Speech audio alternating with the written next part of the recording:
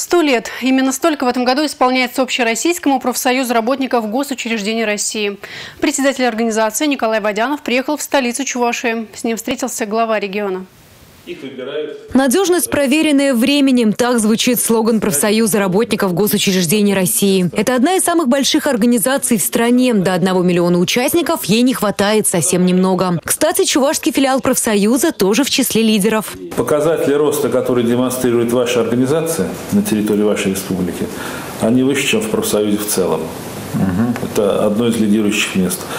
Нужно сказать, что вы увеличили численность за последние три года с 6300 человек до 7300. Это более чем 10%. Это очень большой рост профсоюза. Потому что ну, государственные случаи, муниципальные случаи и работники бюджетных учреждений вступают, это говорит о чем? Это говорит о том, они имеют соответствующее доверие, соответственно, преддверии векового юбилея по всей стране проходят семинары. Один из них пройдет и в Чувашии. Мы проводим э, семинар совещания профсоюзных кадров и актива Волго-Вятского региона.